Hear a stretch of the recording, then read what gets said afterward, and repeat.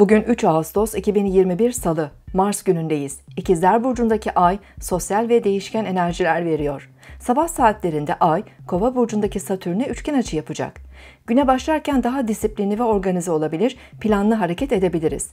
Belirlediğimiz hedeflere ulaşmak için çalışmaya istekli olabiliriz. İkizler Burcu'ndaki ay ile Aslan Burcu'ndaki Güneş ve Merkür arasındaki olumlu açılarda duygusal ve zihinsel olarak daha dengeli olmamıza yardım edebilir çevremizle uyumlu iletişim kurabilir, kendimizi doğru ifade edebiliriz. Keyif aldığımız faaliyetlere, yakın ilişkilere zaman ayırabilir, doğada zaman geçirebiliriz. Para ve maddi kaynaklarımızı doğru değerlendirebilir, keyifli alışverişler yapabiliriz.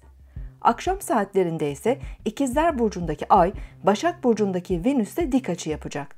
İlişkilerde dengeyi sağlamak, duygularımızı ifade etmek için çaba göstermek gerekebilir. Fazla talepkar olmak yerine paylaşım yapmaya önem vermeliyiz. Sosyal ortamlarda ise hızlı gelişmelere ve değişimlere uyum sağlamak gerekebilir.